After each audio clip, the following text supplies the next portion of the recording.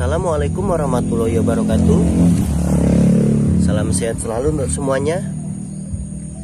Uh, Salam Tiga bedal satu aspal omku. Oke omku. Ada backsoundnya lagu dangdut om. Jadi tak jauh dari tempat saya parkir ini ada yang lagi uh, Ada acara omku. Ada hajatan. Oke om, di kesempatan hari ini uh, saya mau memperkenalkan atau lebih tepatnya tutorial cara membuat barang yang sangat berguna untuk kita para sopir tapi kita buatnya dari barang bekas. Yaitu dari ini om. Pipa paralon atau pipa PVC ini barang bekas ya omku jadi kegunaannya untuk apa omku jadi saya akan buat untuk sporing omku untuk sporing roda depan. Nah, jadi ini dua-dua pipa omku ya. Terserah mau pipa jenis apa saja ukuran berapa asalkan jangan yang ukuran 4 inci omku ya. 4 inci 3 inci.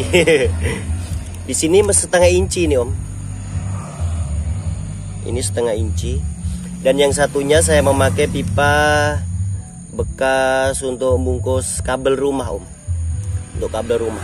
Jadi intinya pipa satunya harus lebih besar dari pipa yang satu lagi. Biar nanti bisa masuk seperti ini om. Nah bisa masuk seperti ini omku. Jadi dua pipa omku. Dua pipa.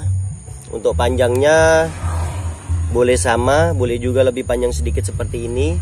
Yang penting nanti pada saat ditarik uh, bisa kena bisa press ke apa mak maksudnya bisa mentok ke ban sebelah kanan juga sebelah kiri. Ini kemungkinan berapa ini omku satu meter kali ini omku satu meter. Jadi satu meter kali dua lah omku ya satu meter kali dua. Dan di ujung pipanya ini omku pipa yang besar. Untuk pipa yang besar kita kasih lubang dan kita kasih ini om skru. Skru kecil. Jadi nanti untuk ngeloknya omku ya untuk nahannya.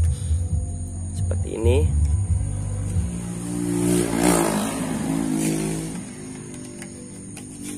Nah, jadi kita taruh ujungnya di ban sebelah dan ujungnya lagi di ban sebelah baru kita kencangkan nah seperti ini omku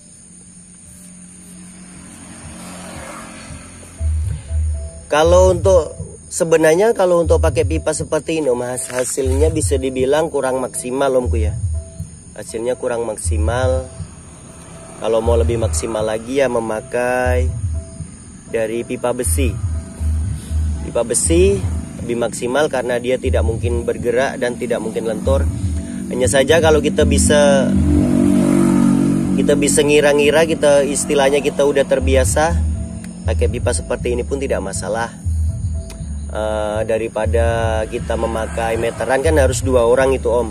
Kalau memakai pipa seperti ini bisa cukup satu orang dan bisa juga kita bawa ke mana-mana. Bisa kita kecilkan. Dah kita simpan.